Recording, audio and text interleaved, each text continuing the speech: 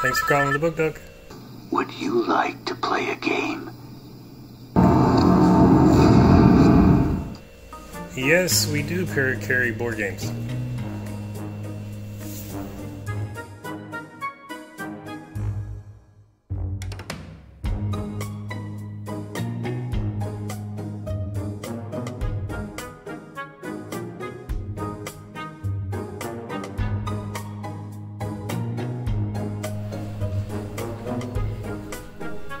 Okay, Mr. Ghostface, you came at a good night. We have Puzzle Club tonight, we have Board Game Cafe, we have yoga, and if you're thirsty, we also have free coffee.